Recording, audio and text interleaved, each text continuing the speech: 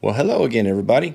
Thank you for tuning in because this is going to be my second video for the day, which is not very common for me to do two videos in a week. I'm going to try to post one every week until we move to Florida and splash our boat after hurricane season. I got some crazy news for you guys today, so stick around and let's get to it. Hi, I'm Quinton. And I'm Christina. What are you doing? And this is Sailing Abroad. We packed up and headed to Florida to get a sailboat with no plan and just a dream. I bought the boat, moved it across Tampa Bay to be hauled out for repairs. As the repairs are being done, we're both working full time, spending time with family and saving money. So stay tuned, like and subscribe as I will be posting often of progress up to launch day. Welcome to Sailing, Abroad. Now, I'm sure as everybody knows that uh, we have Hurricane Fiona south of Puerto Rico. Uh, I think it's projected to go to the west, northwest after a day or two. We're not quite sure yet, but we'll make sure to keep an eye on that. I will post a picture of it now so you guys be able to see where it's at at this current moment. This video today is to share an experience I had fishing in, in the ocean. Um, I got put in the hospital uh, I can't remember, a year or two ago. Um, I was fishing the Gulf of Mexico. Um, I got stung by what they call a uh, hardhead catfish. I remember when I first caught it, I was like, man, I could catch these things in the Midwest. What am, you know, what's the fun of fishing in the ocean if I can't catch cool fish? Well, I caught a catfish. I mean, gosh, I can catch that in my backyard over here. But um, little did I know that they were poisonous. Uh, like number two or number three most poisonous fish in the Gulf. Um, and I and I think what's funny, um, this is hello everybody. That's my microphone, so it's in the shot. I guess we just gotta accept it. I guess because I'm not I'm not moving it. Too much work. But um, what was funny was whenever I caught this fish, I was like, man, it's a catfish. Wow, big deal, right? Well, I did not know they were poisonous. Um, I got him up on the bank. I had him laying on his belly on the sand, and uh, I tied a pair of pliers. I was going to take the hook. Well, I had my hand positioned in a way to where when I had the pliers on the hook, I was going to just push the hook out of the out of his upper lip. And when I pushed down, the pliers slipped off that hook, and I literally close fisted it on that top dorsal fin. Bam! And it stuck me. It stuck me, and I and when I raised my hand up, the fish was hanging off my fist by his dorsal fin and I grabbed him and I just pulled him out and not knowing anything, I probably should have just cut it off and left it in there and take it to go get x-rayed.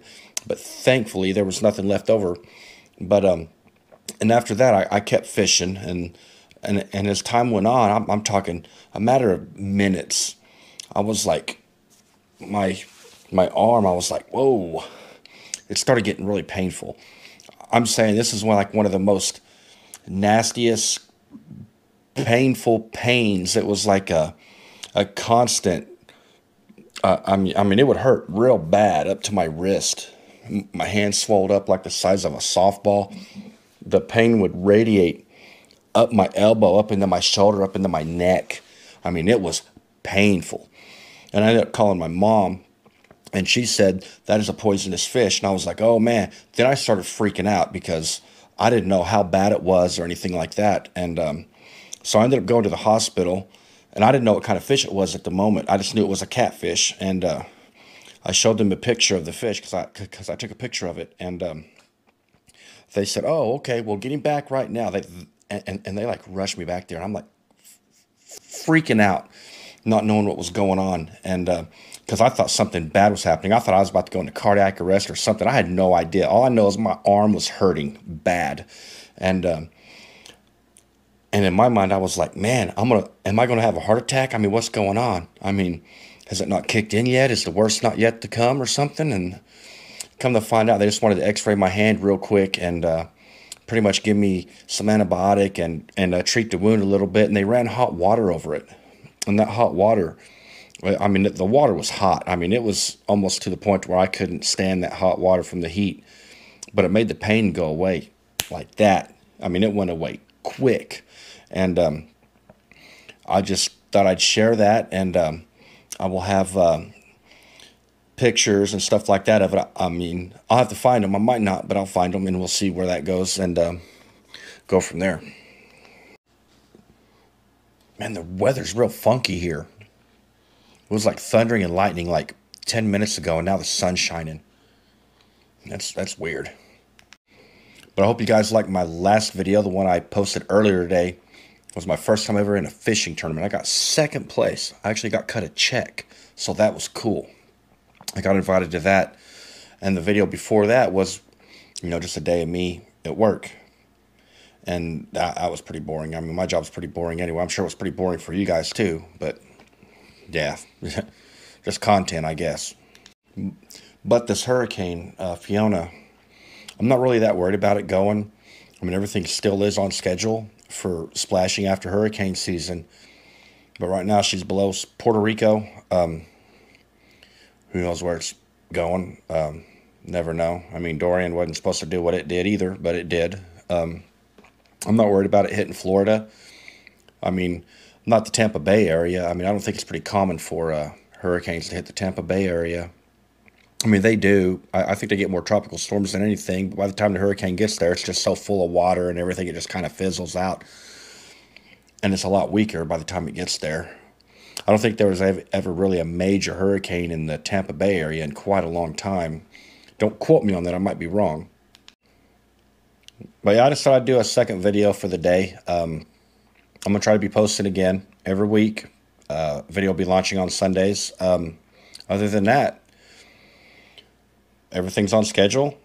We're to be splashing after hurricane season. Um, and hopefully I'll be getting videos on the boat because, um, I mean, it, it's right around the corner now. So other than that, you guys stay safe out there and stay salty.